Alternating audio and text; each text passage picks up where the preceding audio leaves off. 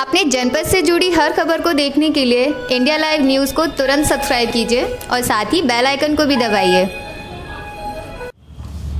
एक ही परिवार के आठ लोग हुए फ़ूड पॉइजनिंग के शिकार। जनपद फिरोजाबाद के थाना उत्तर के कौशल्या नगर का मामला।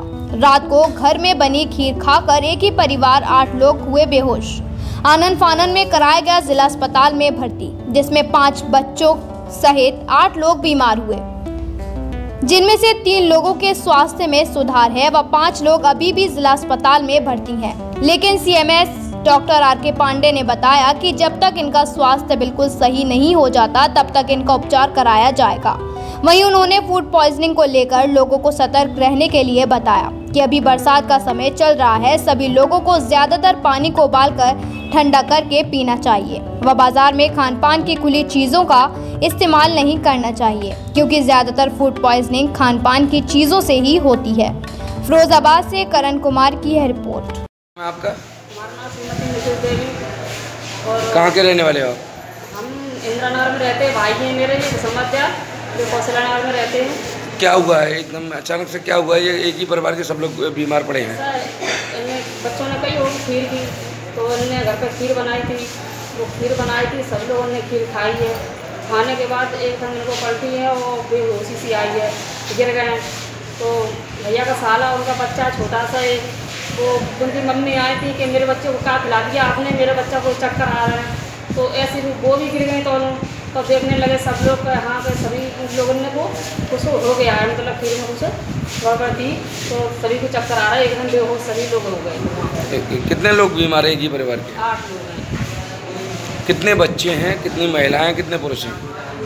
एक महिला है और एक पुरुष है उसके बाद लड़का है बीस बीस बाईस साल का। उसके बाद लड़की है सत्रह अठारह साल की बाद चौदह साल की लड़की है तो एक दस साल का लड़का है आठ साल की है और एक पाँच साल की है। तो कि, कितने बजे खीर खाई थी और लगभग कितने बजे इनकी हालत बिगड़ी है?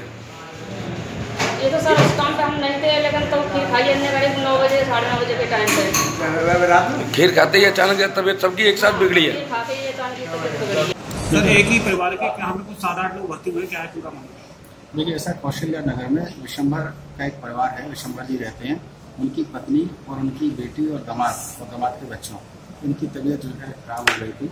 तो वो जो है चिकित्सालय में आपको भर्ती किए गए थे, उसमें विशंभर और नीतेश और शालू, इन तीनों की तबीयत तो ठीक है इस समय।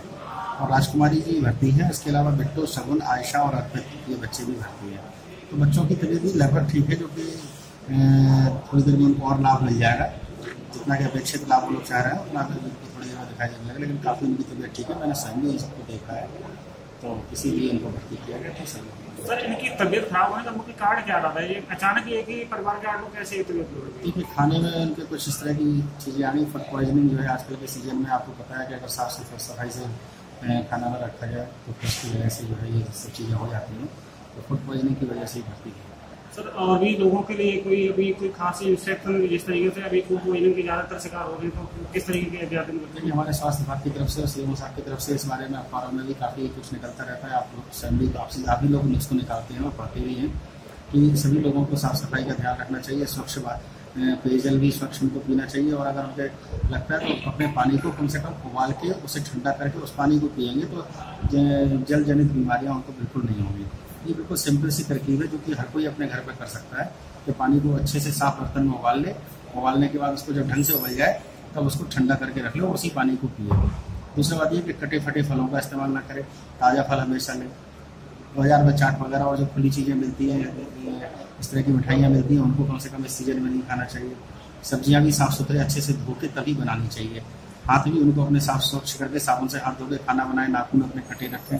इस तरह से अगर चीज़ों पर ध्यान देंगे तो इस समय जो जो बीमारियाँ कॉमन रूप से खासतौर से डायरिया वगैरह होता है इन सब पे कोई समस्या नहीं इस परिवारों को बच्चे आपको सभी की हालत लगभग सही है कि एक आध एक, एक आध को आराम भी मिला है नहीं नहीं बच्चों में से मैंने आपको जैसा कि बताया कि शालू की तबीयत बिल्कुल ठीक है नीतीश की तबीयत ठीक है और विशंभर खुद भी ठीक है। उनकी पत्नी राजकुमारी अभी भर्ती है और बाकी ये बिट्टू तेरह साल की है सगुन पाँच साल की आयशा छोटी बच्ची है अर्पित भी छोटी बच्ची है तो इन दोनों की जो है अभी थोड़ा सा इनको और अपेक्षित लाभ होना है जो कि शाम तक अभी ठीक हो जाएगा। नहीं